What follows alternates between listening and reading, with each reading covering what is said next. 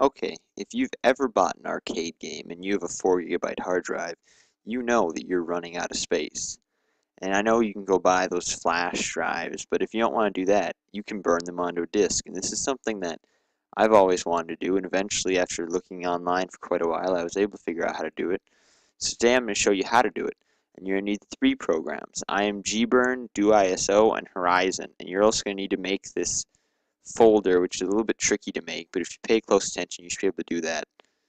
So we're just going to name the folder data, D-A-T-A, the capital D, and then we're going to make another folder inside of that called contents, and inside of that, we're going to make another folder with 16 zeros, and then inside of that, we'll just leave that for now, and now we'll open up Horizon, which hopefully you've already installed. Now inside of Horizon, once we open it, on the right side, there's a device explorer. If you hit the arrow, it'll pull out the device explorer. Now you'll need to have your game on some sort of USB or something like that in order to copy the game onto your computer. So you'll need at least one USB in order to get the game onto your computer. So once I plug in my USB drives, I have two of them because I'll be burning more than one game, which you can have all your games on one USB drive, though that too is fine. So I open up my USB drive, I select games, and find the game that I plan on burning. Well, I'll end up burning more than one, but the first one is Counter-Strike. So now that I've found out what game I'm going to burn, I go up to the top, I select Title ID Finder, type in Counter-Strike, and click on the one that is the one that I'm going to be burning, which is Counter-Strike Go. And then I click on copy the title ID. So now that I have the title ID, I put that title ID inside of the 16 zeroed folder. Now, since these are arcade games, we'll make another folder which will have three zeros, a D, and four zeros, I believe. But we'll make that folder, and then inside of there, we'll end up saving the file. So what we're saving is the Counter-Strike thing, we'll select it to extract it, and we'll extract it to that three zeros D and four zero folder. I believe it's in that order. And here, let me look if it's three or if it's four in the beginning.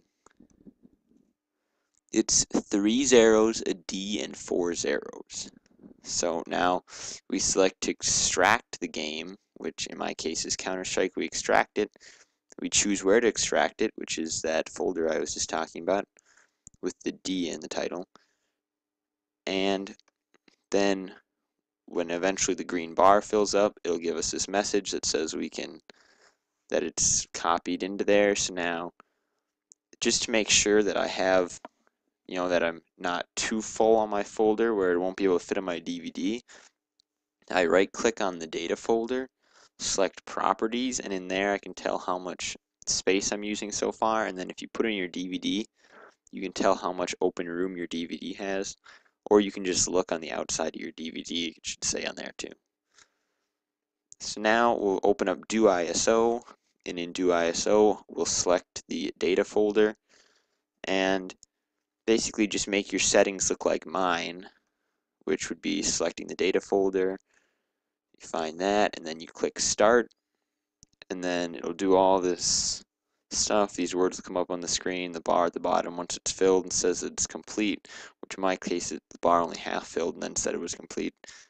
Then your ISO is created, and then we need to burn that ISO, so we'll use IMGBurn to burn the ISO.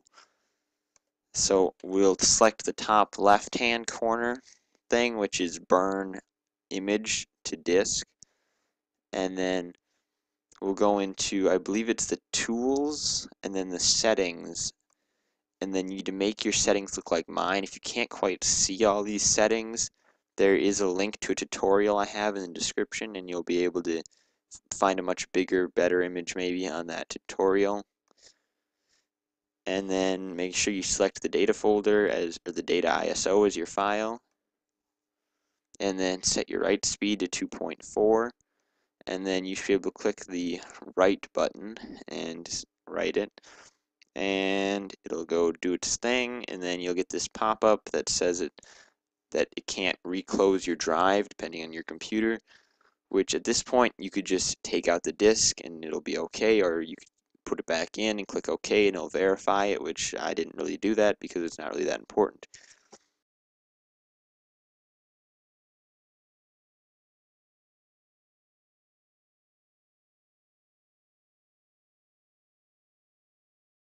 But now at this point you're done. You can put the game in your Xbox. It'll say that it's a mixed media disc, and then if you go to My Games, you should be able to find it in My Games. And this also will work for your games on demand and your original Xbox games. But it won't work for your DLC as far as I understand. And I'll have a proof video coming up after this.